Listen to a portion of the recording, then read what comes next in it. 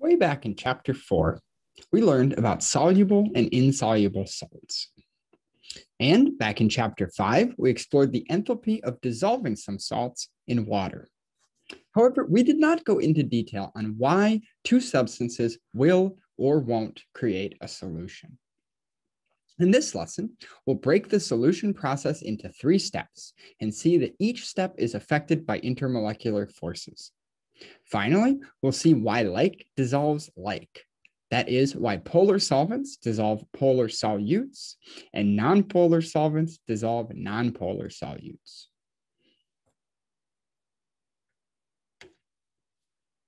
Back in week five, we explored the enthalpy of dissolution in the first kitchen chemistry lab. We had two salts that were both readily soluble in water, but calcium chloride caused an increase in temperature, while potassium chloride caused a decrease in temperature. How can we explain their difference in behavior?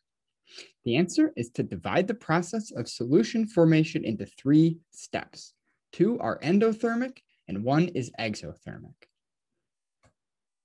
In reality, the three steps of the dissolving process happen simultaneously. However, it's helpful to look at them one at a time. The first step is to break apart the solute particles. The amount of energy needed to break apart the solute particles depends on the strength of the forces holding the particles together, but it is always an endothermic process. The second step is similar to the first.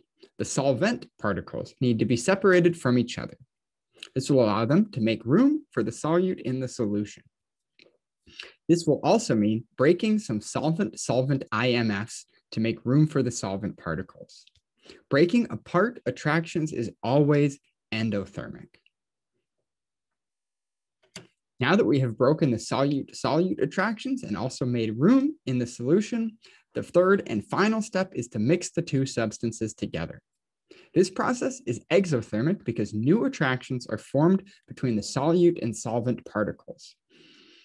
The enthalpy of this step is directly related to the strength of the IMFs created between solute and solvent. When the solute and solvent share many strong IMFs, this step is very exothermic. When the solute and solvent do not have many strong IMFs, the enthalpy of this step is very low. We know from Hess's law that the overall enthalpy is equal to the sum of the enthalpies of each step. So for the process of dissolving, the overall enthalpy is equal to the sum of the three steps shown here.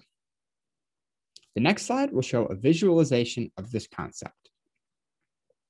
Since the first two steps of the solution process are endothermic, and the third step is exothermic, the magnitude of the enthalpies of these steps determines whether the overall process is exothermic or endothermic. If the exothermic enthalpy of mixing is larger than the two endothermic steps, then the overall solution process is exothermic, as shown on this energy level diagram.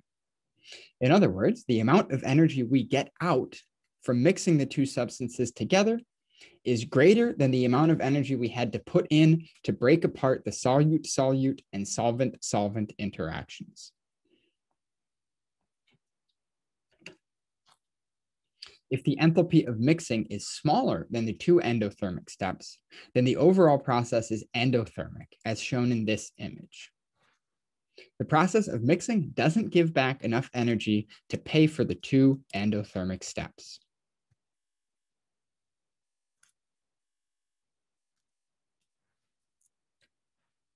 The solution process is thus more energetically favorable if the enthalpy of mixing is large in magnitude.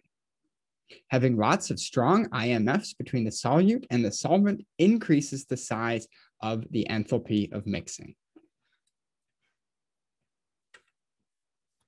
Polar solvents, like water, can engage in the strongest IMFs, dipole-dipole, hydrogen bonding, and ion dipole forces.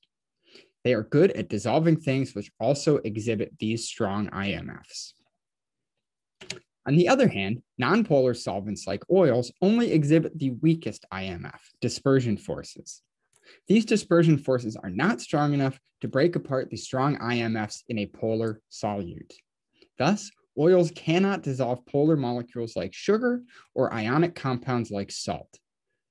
Nonpolar things can only dissolve other nonpolar things. This is summarized by the aphorism like dissolves like.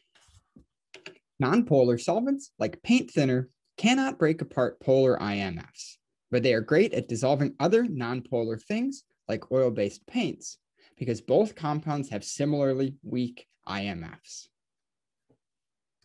A polar solvent, like water, is great at dissolving polar compounds. However, water will not dissolve nonpolar compounds because water would rather keep its strong water-water interactions than form weak IMFs between the water and the nonpolar substance.